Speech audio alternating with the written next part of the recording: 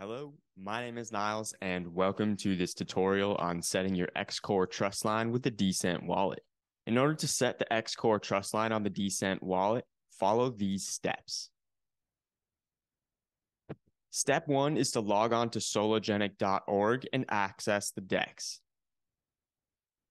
Step number two is to ensure you're using a Chrome browser and have the latest version of D'Cent Bridge installed on your Mac or PC. If you haven't installed the bridge yet or your version is out of date, you will automatically be prompted to download the latest version when you try to connect your wallet.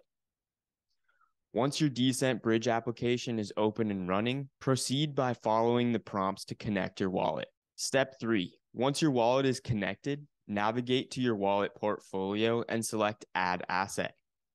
Step 4 is to select Custom Asset and input the following data including the Xcore gateway, the issuer, the Xcore currency code, and the limit.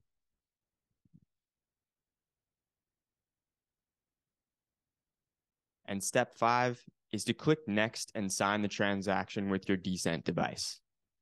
And congratulations, setting up your Xcore trust line on your D'Cent wallet is now complete.